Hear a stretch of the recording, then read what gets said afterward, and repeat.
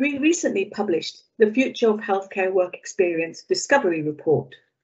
What it does is take a look at the current health and care work experience offer in order to establish how it can be improved for those who are interested in a career in health and care and also for organisations who deliver the work experience. Really really pleased to see the discovery report about work experience. I think um, it you know we've known for a while that there have been issues with with kind of equity of work experience and uh, very patchy provision across the country.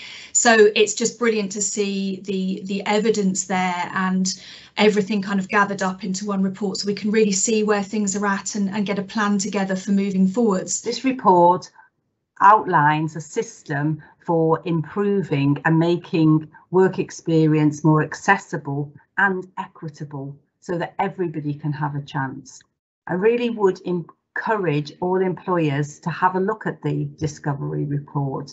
Even the best employers who have some fantastic um, work experience programs will benefit from, from reading about other people's experiences and maybe for those employers who currently don't provide a great number of work experience opportunities, this really could be the stimulus to start to do so. We have published the Future of Work Experience Discovery Report and would encourage anyone involved in the recruitment in health and care would really read the report and consider its findings.